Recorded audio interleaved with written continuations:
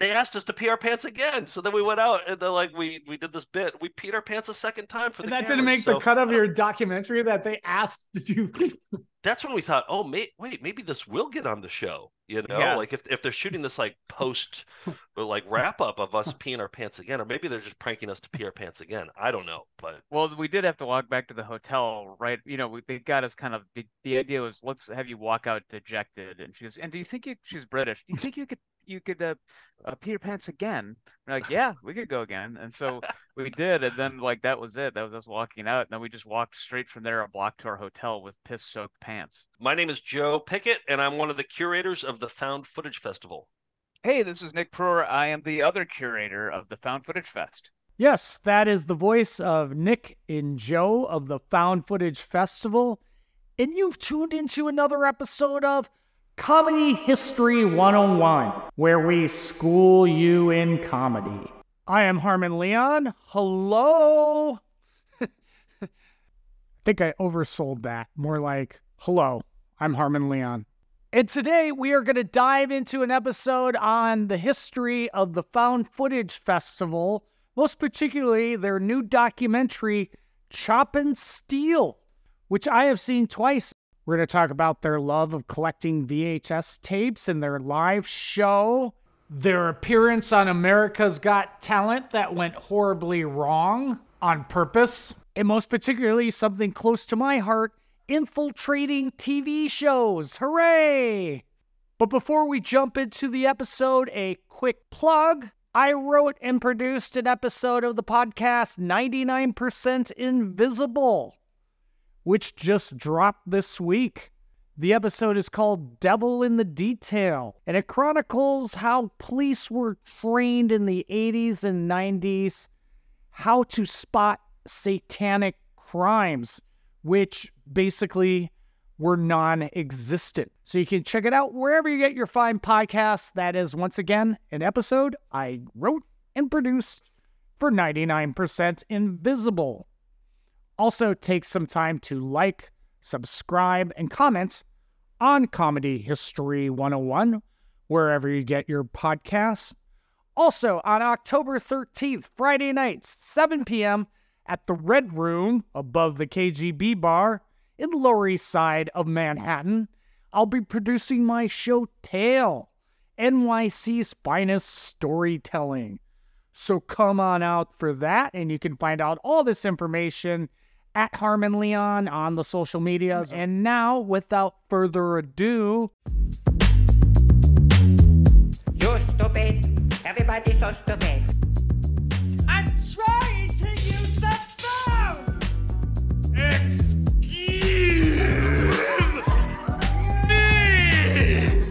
Comedy History 101. What, say, four, or five elements makes for a good found footage video? there's a few things. I mean, for one, has to be unintentionally funny. You know, whatever it was trying to do, it has to uh, have failed at in some kind of interesting way. Uh, that's that's the main criterion. But uh, anything that involves um, a celebrity, we know that's going to be a solid clip.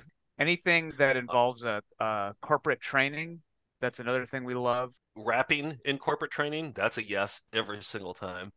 Um, what one big one Grill is- skills. yes, yeah. Oh yeah, grill skills. Like that's the pinnacle. That's Um, everything. No, but the biggest one I think for us is that we don't take anything from the internet. So like everything that we find for our live shows has to be found physically in hand uh, in our collection. So I don't know, it just kind of cheapens it if you just take a link that somebody's passed around a million times. And and so like we we take great pride in curating our very own show from our very own collection. Yeah, I think like if you go see our Volume 10 show on, on the road, it's all stuff you can't find on the internet, which is even rarer these days. It, I think makes it even more special that it's all stuff that hasn't made the rounds. So And, we give way too much attention to these videos that you know, like like McSee, like uh, the McDonald's training video guy. He uh, he had no idea that that even existed, and so but we had watched it a million hours of it. So yeah, we give we give way too much attention to these videos that just like are in garbage cans. Yeah, I remember we found one at like a thrift store. It was like a home movie, and it was like this family talent show in their living room. Yes. It was Yes. like every member did an act, and it was like we were just obsessed by it, and it was just like not meant for public viewing. right. And That's- it's like, see, again, that's the you- gold we're looking for. obsessed about the uh backstory of the family and things. So it's like, yeah. That's the think best that- part. Yeah, I think that home movies you have that whole voyeurism too. Like I, we we've sat through the most boring home movies on earth, but there's still some sort of voyeuristic pleasure of like seeing this thing that wasn't meant for a public audience. So I think that's the one other criteria uh, we could mention is that these are things that weren't meant for uh, to be shown on a big screen anywhere. Our videos were not are not movies. They're things like exercise videos, home movies, like you were talking about, Harmon, training videos, and things that are basically meant for an audience of one in a living room. So that or a break room or they're a break room, yeah. So that's why like it's fun for us to put them in a context they were never intended for. What would be on your all-star dream team? Like if you had to pick like four or so through all the years, through all 10 volumes. Uh, my favorite are these uh, industrial safety videos uh, put out by this insurance company called Federated Mutual. And like whenever they'd have, you know, whenever they'd like, uh, you'd be insured by this company, you'd have to watch this video, the safety video, basically about like, don't get hurt. And here are different ways that you can get hurt. So they had all these reenactments of people getting hurt over and over and over again. It's absolutely brilliant. And I got it when I was working at a video duplication house right out right after college and I I would always make extra copies for myself. So I like got the entire collection of these videos. And so those those are always very near and dear to my heart because they're so good and they're always just so just crowd pleasers. They're just relentless too. They're like really violent too. I just I love them so much. It's so, slapstick. uh, yeah, Federated Mutual Insurance would be my number one.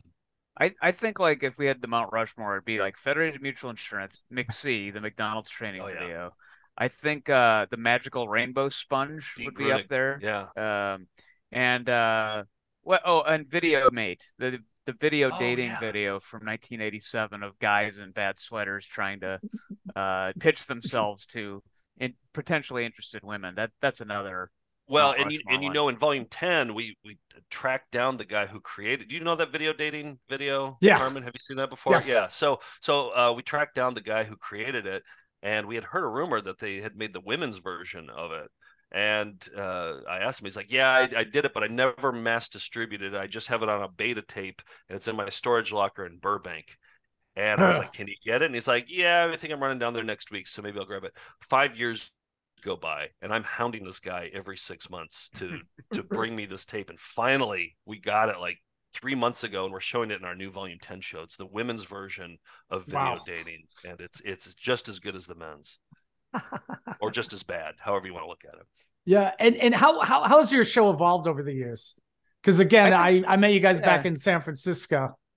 I think that now you're volume just- ten. Yeah, it's just that eh, this is our uh, in April it'll be our 20th anniversary of the first show we did. So two decades later, I think we've just we've kind of been rewarded for taking things too far, you know. So we do that now. There's always a um, not a pressure, but now we have a little few more resources to, uh, you know, like fly down and go meet somebody that we've tracked down, or um, and the other thing is we've we've even gotten the freedom to insert ourselves more into it. I think at the beginning it was very much about the videos, but in doing the YouTube show and just sort of being like the elder statesman of the VHS community now, like we can talk about insert our own uh, lives and opinions and personalities a little more.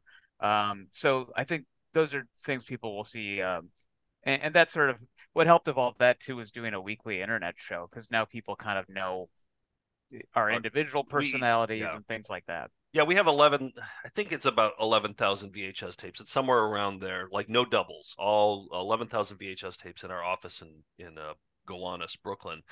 And uh, yeah, I mean, I'm more like, I like the filth and I like the tedium aspect of things. Nick does not like the filth or the tedium. So I kind of steer that part of the found footage ship. And then uh, Nick uh, had, Nick, what's your stuff? Like you well, like, I like puppets. I like um hunks and babes. You like, uh, yeah, hunks you and like babes. the sexual, you like the more sexual stuff. uh, yeah, I think most people do actually. Um, but uh, yeah, so like we each have our tastes, and we acknowledge that in the show now, and um, we even uh, have our first non VHS clip in in volume ten where um, you know, in addition at thrift stores, maybe you did this too, Harmon, but like Mm-hmm.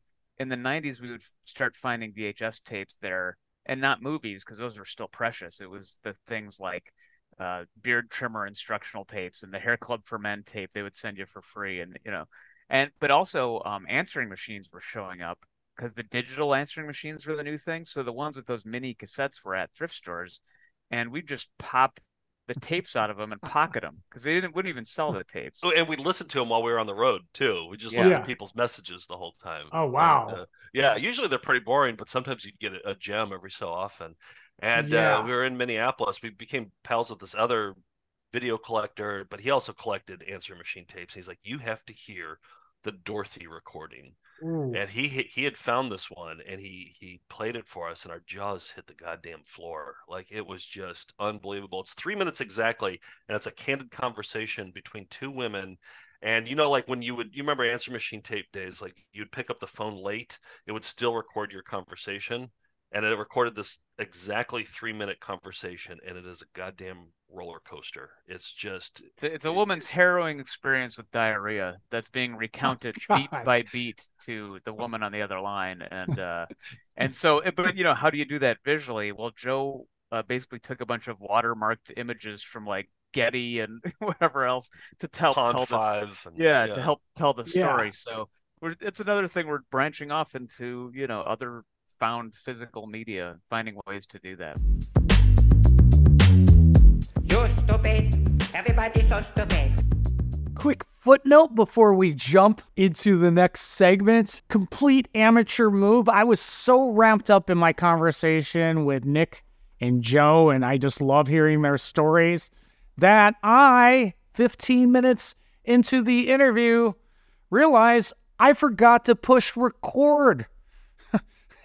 So so that first 15 minutes is lost to the ethers. But to bring you up to speed, Nick and Joe have a new documentary out called Chop and Steele that follows their antics posing as fake strongmen who infiltrate morning TV shows and in turn end up getting sued by the media company who owns a series of TV stations that they infiltrated as Chop and Steele.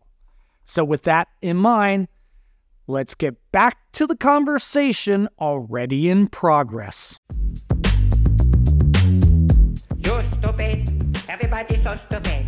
the morning news shows is what really set that all in motion. Yeah. And so uh, I, I was like, oh, this is a pretty good story right here. And uh, so I called up Ben Steinbauer and I was like, hey, we're getting sued right now in federal court. Do you want to? Do you want to uh, follow us? And he's like, Yes, I'll be right there. So he grabbed the camera. And, and our, our lawyer, you brought up our lawyer before, Anderson. Like we found him through a friend of a friend, and I, I he was still pretty new at the time. He's still pretty new lawyer, but then we hit it off right away because this is he's a he's a former punk rock kid. Like he uh you know he squatted in a when he was going to law school he squatted in a you know a house with a bunch of other punk guys and i remember my first conversation with him he was like you know how like in these punk houses everybody has like a guy named skillet in the house like in these punk rock houses? And i was like yeah i think i know what you're talking about. And he's like our house had two skillets. We had two guys named skillet in our house. And this is like our first conversation with him to be our lawyer. and we're like, oh boy, is he going to be a good lawyer? Uh, he- he roomed with two guys named Skillet, um, but he turned exactly out to be a great kind of lawyer. lawyer we needed. Yeah. Yeah. And again, it's like my experience of just infiltrating TV shows is you do the job because you're there to entertain the people watching.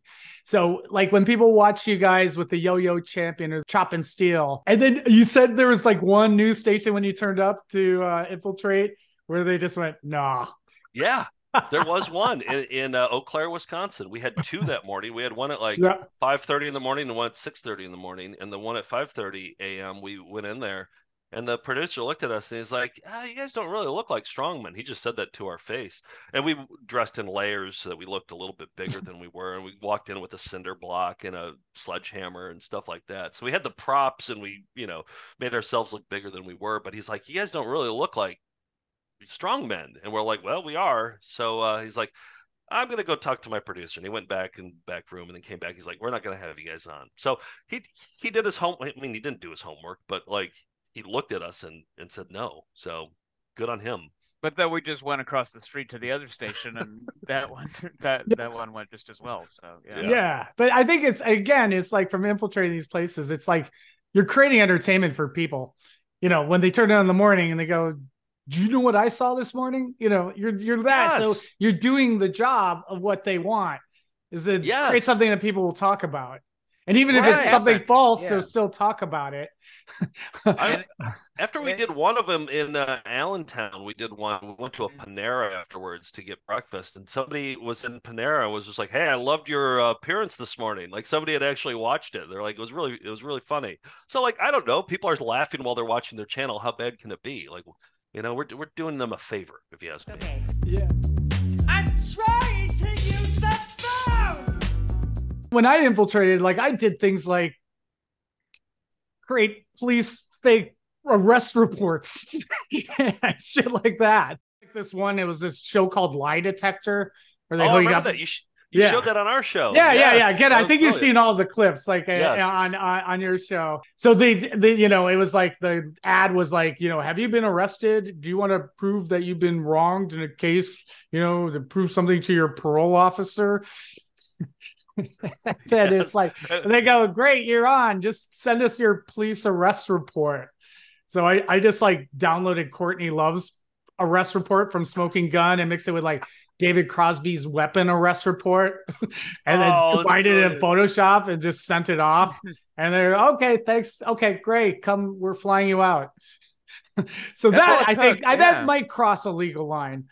No, I, no, just because it's an entertainment show. I, I don't Yeah. know. I'm no lawyer. What do I Yeah. know? But like, I feel like I don't know. It's not like something important. It's some stupid uh, well, TV to our, show. our and they understanding, it's it was the the line is that you can't um you have to put in enough clues, or it has to be some sort of social experiment and have that value to it, where you're trying to expose these companies for not doing their homework, basically. So that's sort of the litmus test, I think, for some legality purposes. So but but for what you're doing, like you, you were saying, like even like Jerry Springer and that kind of stuff, they make up the lies for you. You know? exactly. Like- yeah. Yeah. So I mean, who gives a shit at the end of the day? Your your uh, lie detector one, weren't you like uh, on parole and you smoked pot? And Yeah. You, uh, yeah. And my favorite part about that is they um they did like a recreation scene, a reenactment scene. You know, so they had they actually had like a, a casting call for like struggling actors to play me and my fake lie in the recreation of the lie that I created and Oh. got sealed on the show via my fake police arrest report I created in Photoshop and downloading documents on Smoking Gun.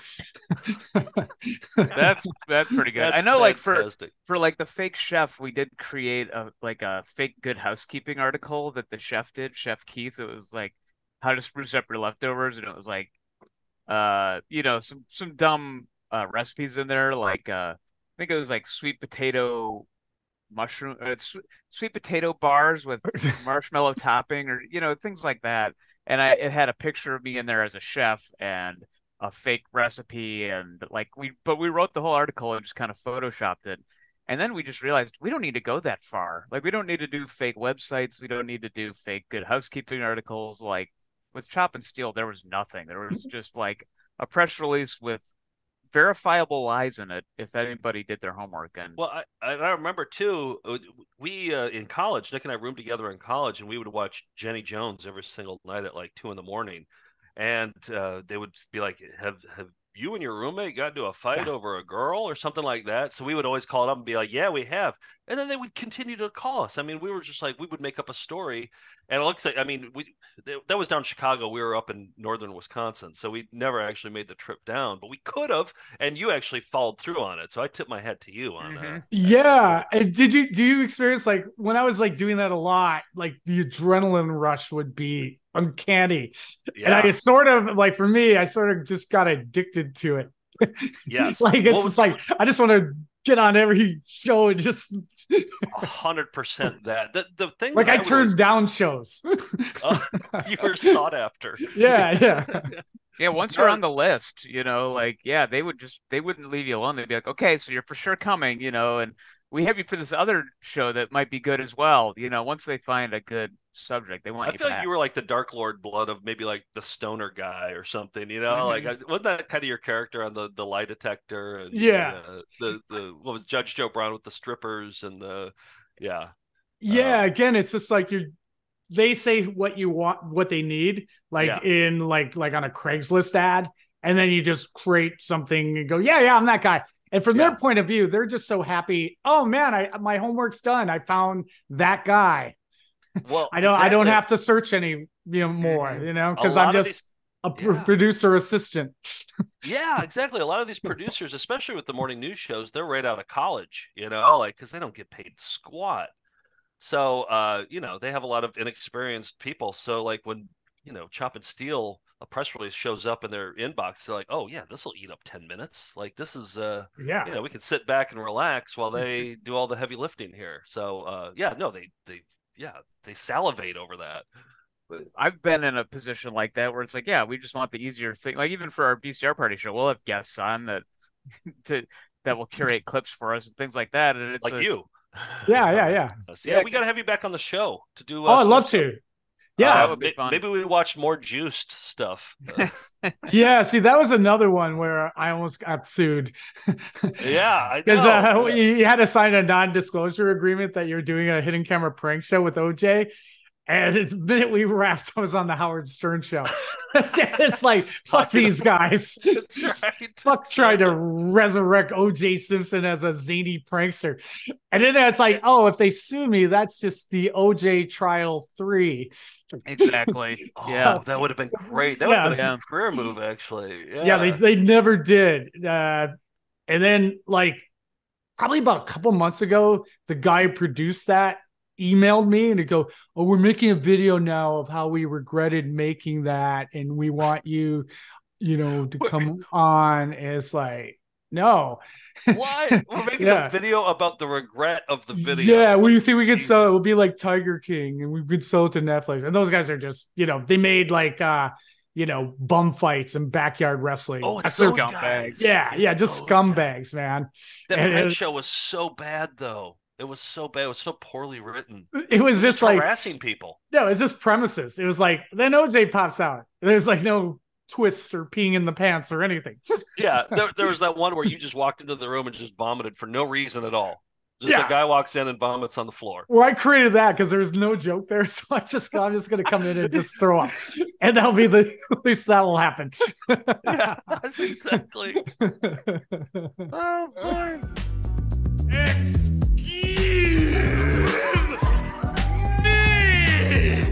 I sympathize with people like not completely. I mean, we're not journalists, but like with, uh, but ultimately, it's a pretty victimless crime. Like that's the other thing. Is like, what's what was the crime happening here? We made it, like you said, it's an entertaining segment. Um, I don't think anybody cares whether we're real strongmen or not who was watching. It was just like a funny segment on their show and got more attention to their news station than if we would had been real strong men. So You- you know what was funny is when we were doing uh, Kenny Strasser, the yo-yo expert. Me and Mark went on on one in uh, Wausau, Wisconsin, and um, he, he did this. I, I think his yo-yo. No, no, no. He he he hit himself in the face with like a yo-yo or something like that, and then he got really quiet, and then the, it was awkward, and then they threw to a commercial, and then um, they were like they found out that it wasn't a real yo-yo expert. So then they wanted to make amends to their audience. And they're like we're sorry we got duped by this guy. We're going to bring on a real yo-yo expert this time. So they brought on this guy. I saw this somebody sent me the link. It was like two weeks later they had on zammy the yo-yo expert. So they had a real yo-yo expert on. Yeah. and i feel like people who are watching this channel are just like what the fuck are these people talking? Like why are we seeing so many yo-yo experts on this channel now I feel like, I mean, people just like barely even watch these shows, but like this morning news show is like, we have to make amends. We have to give them a real Yeah, yo-yo. we have mm-hmm. we have to fill their yo-yo yearning. Yes, exactly, exactly. And then Zammy, their actual yo-yo expert, was arguably more awkward than than K Stress was. 100%. I mean, yeah, Yeah. So, yeah, Then, then Mark from there, he they, from the yo-yos. Actually, he, he got um the office saw him and cast because of the yo-yo, yeah, yeah. and then So- again he's gone on to you know uh, what we do in the shadows and yes, etc. yeah, yeah. Wow, No, it was it was like I think we had done seven morning news shows with Kenny Strasser, and then uh, I worked with somebody at the Onion, uh, who was now who was at the office, and they did an investigative report that they included me in, and so she saw me in it. She's like, "Oh, do what do you know about this Kenny Strasser yo-yo?" And I was like, "Oh yeah, that was us. We did that." And So she's like, "The Office. We've been watching it in the office this whole time, and we want to fly you guys." So they flew us out, and we got to meet all the writers and everything, and and then Mark got on the show. So, yeah, and then from there, yeah, he was on Portlandia, and then he was on, uh, yeah, what we he's on what we do in the shadows now, and he's super funny. So I, I didn't know that. Because I think Nick, like a long time ago, you were on uh, a show I used to do at Videology. Um, it was like uh, just uh, I think it was called Video Tale. People tell stories around videos, and then you showed that video, and then I didn't make the connection till like years later. That it's wow. Yeah, I think a lot of folks don't know that we did the news things. I mean, it is kind of separate, but I do think like it makes sense when you know that uh we've sort of like we know what makes awkward television, having watched so many videos and training videos and um and yeah, where we kind of have mined and studied uncomfortable moments captured on video. So it was just uh, a different leap to just do make our own awkward moments on video. In the Chop and Steele documentary, the lawyers came back with a settlement that you guys turned down. What was their first? What was that settlement that We- they we they offered? that's that's Oh, one thing that we can't talk about. Ah, okay, gotcha. Our, dollar amounts. We can't like oh, not dollar amounts. I mean, I, I think was it no, I mean more like you have to do an apology here or something like that. Was it that sort of that more on that angle, like the public apology? Was was it something involving like or was that the public apology or? No, they yeah, we can talk about that because they they did ask us in their initial thing to read a public statement that said like we learned our lesson that they that uh, we made a mockery of these hardworking journalists and we recognize that their job is difficult and we you know which it isn't. It's not a difficult job. And we we recognize all these you know and, and it, it, like I think we say this in the documentary but it really felt like uh, something they would uh uh, somebody who had had you captive would make you read at gunpoint, you know, like uh, being treated well here, you know, it was nothing like uh, our voice or what we would do. And, and it just, so I think Joe and I were very clear from the get go. We're not going to acquiesce to their, No, it, uh, nobody, demands. nobody would buy it. Everybody would see right through it. They'd be like, "Oh, they're, they're, yeah, they're giving up at this point." So, yeah, I mean, it was such a stupid, frivolous lawsuit that, yeah, I mean, and then I think at that point too, Vice News was doing a big story about it, and they reached out for comment uh, to Gray Media. So Gray Media knew something was coming, and that they weren't going to look good. And so I think they just kind of caved and were like, "Okay, let's cut our losses and and settle, and we won't make them do this stuff, you know, uh, or we won't ask them to, because uh, we had some leverage at that point. Finally, the fact that uh, a media outlet was going to cover this and and do a kind of bigger story on it, we could finally say like, nah, we're we're we're okay, not or saying no to your demands. and also we got asked to be on America's Got Talent. So, like, when we're getting sued, we're also getting all this press. We were so on, because uh, you're getting sued, you you got on America's Got Talent. Well, they asked us to go on, and then uh, we got on Tosh.0, and we got you know Fast Company did a story on us. So we were getting all this great press and getting all this great attention that was really actually helping our brand. And uh, yeah, that's when I, I called up Ben. I said, "Hey, we're going to go on America's Got Talent, and we're going to do something when we get on America's Got Talent." Like we clearly hadn't learned our lesson at this point, but uh, and and we were planning on pushing the boundaries too far with this America's Got Talent thing, and we did. But I think you did. yeah, I think we did. So uh, I mean, I'll let you tell it. But what were some of your brainstorming processes of how to twist the story once you got on stage? What were some other options than the option that you went with? or was that uh, always That good? was I think- always well. yeah, I didn't want to do the show because I can't Right. stand that show. I'm not a big fan. Yeah, of, was uh, was was the best way to sum up your feeling on the show is when you're watching that Wizard of Oz act on stage, and then Nick turns around and looks at the camera with just cold dead look in his eye. I've never seen the show. I'd never seen it. I just knew they had it was like one of the highest rated shows on TV. That's all I knew. And I was like, well, I think we should do it. I don't know what we'll do on it, but I, I well, we I just knew it. that we were going to be like the dumb, like the William Hung character. You know, ah, like so gonna be they the they you'd be on, and then a lot of cutaways to the judges like rolling their eyes. Exactly. So I was like, the only way I'm doing this is if we go far on this one, we do something really bad, and I'm, I'm, you know, I'm, I don't want to spoil it because it's really like a bit. Could, could we spoil it? And then we could. I You could just say here. Well, yeah. Let's- I mean, I, I, I think it Let- let's doesn't spoil spoil, it. it. but it's like, uh, Well, you still got to see it in order to really appreciate. yeah. I think it. too, seeing so. it and so yeah, yeah. Let's let's spoil it. So so Yeah. uh, I I was like, I'm not gonna do America's Got Talent unless we go up on stage and pee our pants in front of all of the judges. And you know uh, Howie Mandel and Simon Cowell and Tyra Banks, Heidi Klum, uh, one of the Spice Girls. Um, One of And, the uh, Spice Girls. It doesn't matter which one. It, she's just just- known as one of them. that's like, and that's how they announced her. One of the Yeah, Spice Girls. and one of the Spice Girls.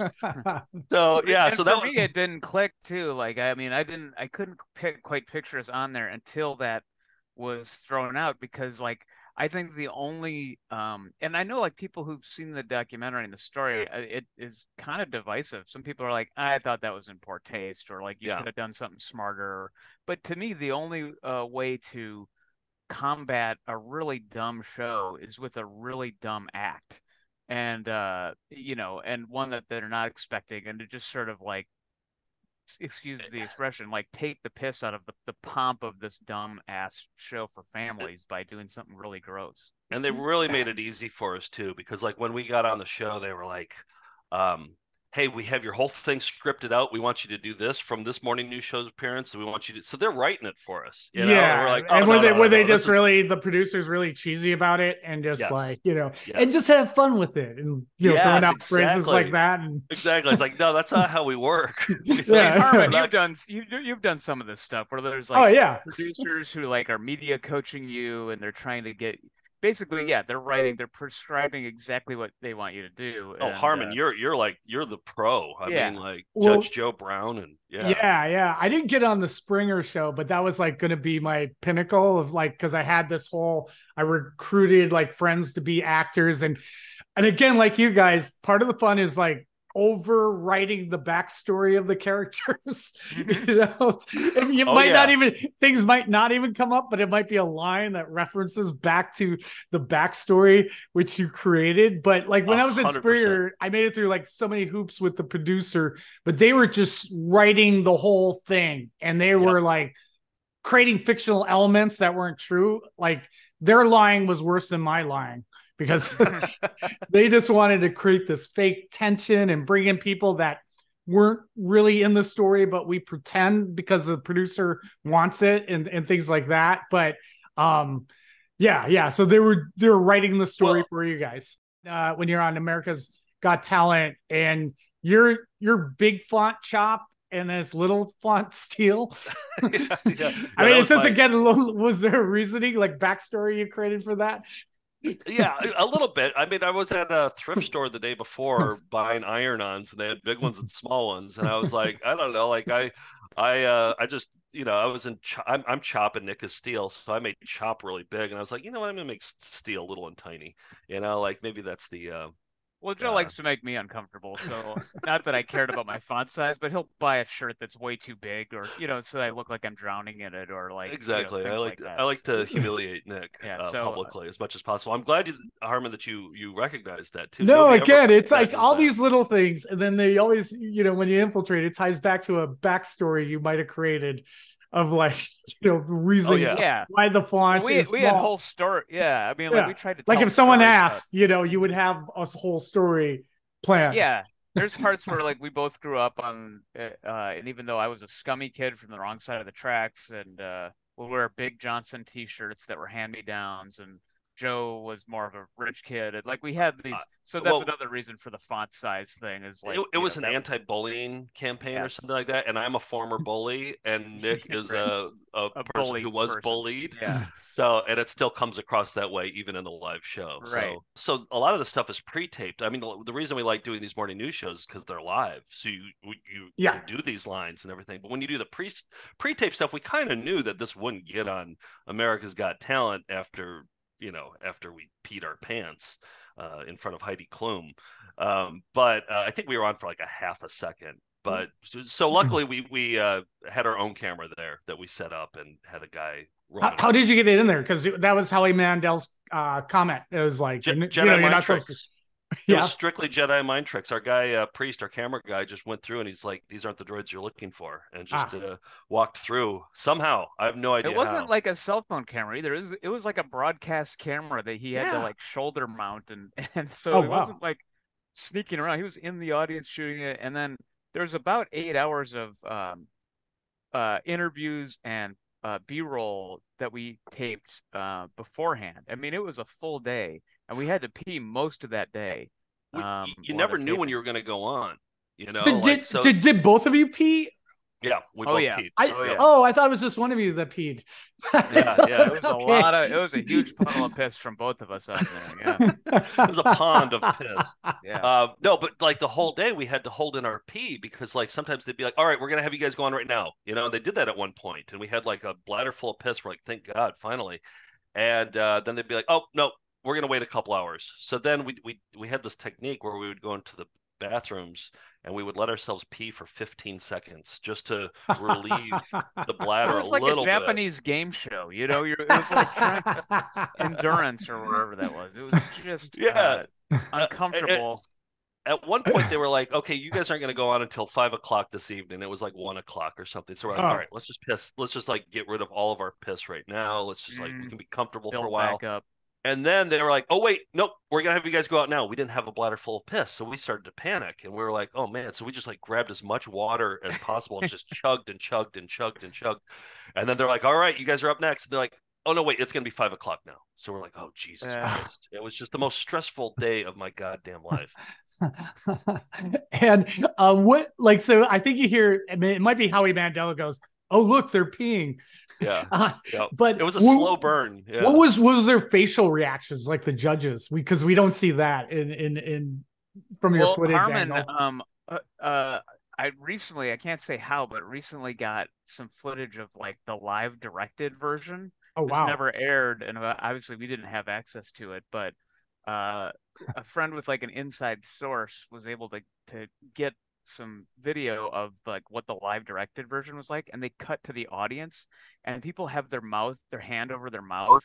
And, it's like, a it's like the producers like in the moment Yes, when and- they do springtime for Hitler.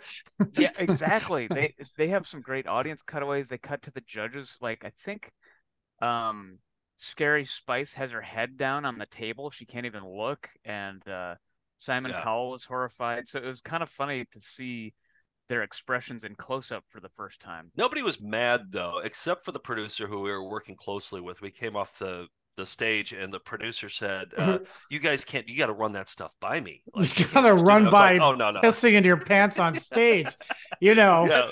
Gotta We're run like, that. You gotta uh, get that approved by me Yeah. first. But you know what's funny is like uh, I I think some of the producers thought it was funny, or it was just like something they'd never seen before. Because why the they didn't have to clean it up. Yeah, exactly. Well, that was the part I felt bad about. Is that like that was one thing we didn't even think about. It's like, oh, somebody's gonna have to clean up our piss after we're done. I felt bad about that, uh, but um, the stagehands were furious yeah they were but, uh, mad. Yeah, they were like, "What the fuck?" They were like screaming, as mhm. they should. And and like, yes, I'm Right. mad at us for doing that too. I would be very angry at that too. But Mhm. there's one producer who wasn't working with us, but she came up to us and she was like, she goes, "That was brilliant.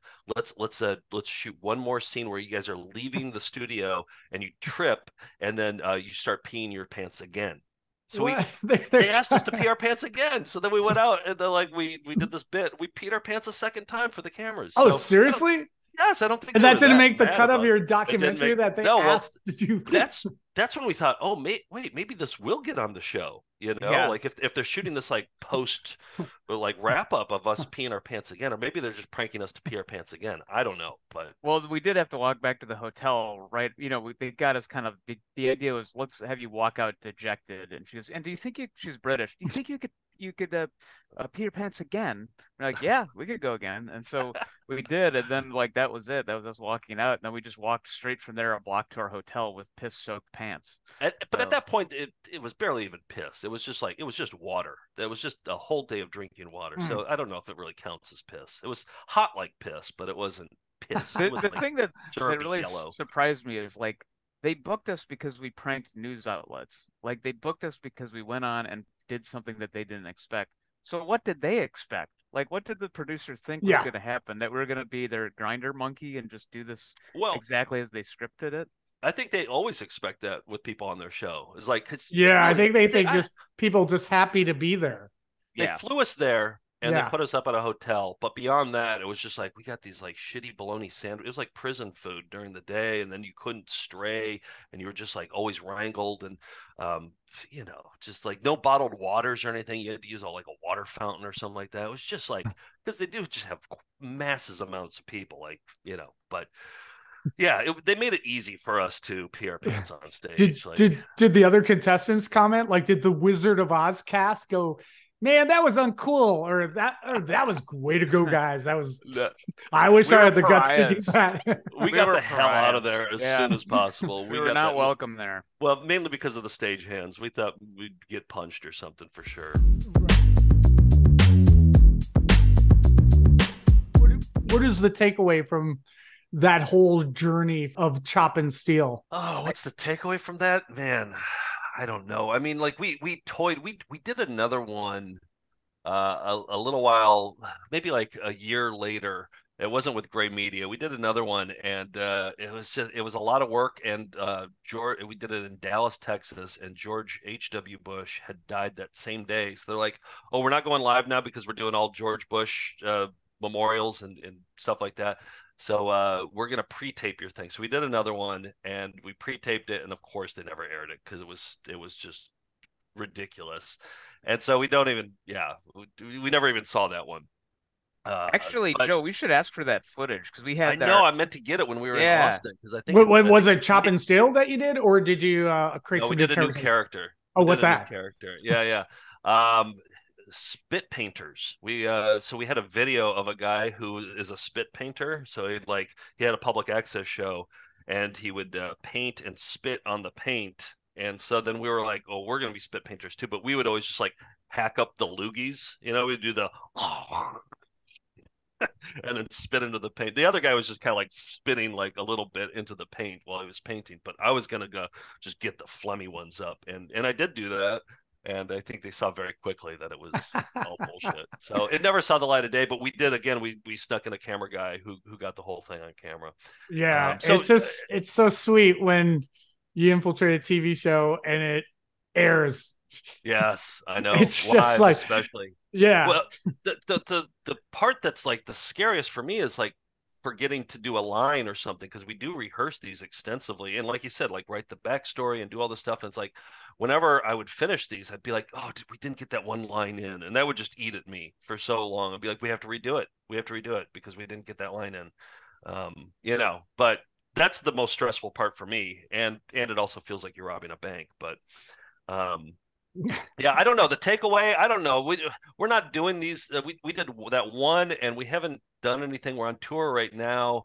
Um, we've been doing something called the two word phrase challenge recently where we go on and i'll whisper two words into nick's ear and he'll have to work it into an interview and uh, so like the, the best example is we were in houston and i uh, whispered basketball murderers into his ear and he had to work basketball murderers into the the interview and he knocked it out of the park and so um Yeah. It always makes me nervous, but you you know you can somehow find a way. Like that one was like the end the end of the interview, and he goes, "So who are the kinds of people who make these videos you find?" And you know the light bulb went off, and it was like, "Oh, they they could be crazy. They could be basketball murderers for all we know. You know the videos are, uh, uh, you know, and you just keep talking, and it just kind of they they're they're not listening. Is real is the real takeaway. And uh, I can't I can't tell if Nick's worked in the two word phrase challenge into this uh, podcast yet or Oh, not. But uh, yeah. maybe we'll we'll we'll see. Like, we still got some podcasts left. Will I know it when I hear it? Uh, it, it might stick up like a sore thumb, but uh, yeah. And where where can people find you, find out about your tour schedule, and uh, watch the documentary? Yeah, foundfootagefest.com has everything you need. Tour dates, uh, you know, our Even links to crap- Chop and Steele. Yeah. Yeah, Chop and Steele t-shirts. Oh, we're we're we're capitalizing. We're we're we're we're trying to make a buck here. So uh, yeah, all that stuff's on there, and we're on. Uh, we're doing 25 uh, shows across uh, the country and uh, Canada. This uh, and then in, I think in February we're in the UK, and so uh, yeah, all our tour dates are there. Excellent. Thanks so much, you guys. That was just so Yeah. fun to hear the stories. Really appreciate it. Yeah, totally. Thanks, Thanks, for Harmon. interviewing us. And that wraps up our episode for today on the history of Chop and Steele and the Found Footage Festival. And once again, quick plug check out the episode I wrote and produced for the podcast 99% Invisible. The episode is called Devil in the Design. Also, October 13th, come see my show Tale, NYC's finest storytelling, at the Red Room above the KGB bar in New York City. Also, take some time to like, subscribe, and comment on Comedy History 101. Even leave a dumb comment. I'll read it. I'll read it right here. For example, here is a comment from someone named Shifra on our history of the Purple Onion. Shifra writes, Sad you say we will get the history of this great old club, but you do not give real details, such as when each of these performers played there, just 50s and 60s. It would be great to have some actual date attached to them. I used to go there and had seen quite a few of them, but dates are really fuzzy for me now that I'm in my early 80s. Thank you, Shifra. Thank you for your comments. Yes, the Purple Onion was an amazing venue. And that does it for our show. Until next time, bye bye. You're stupid. Everybody so stupid. I'm trying to use the phone!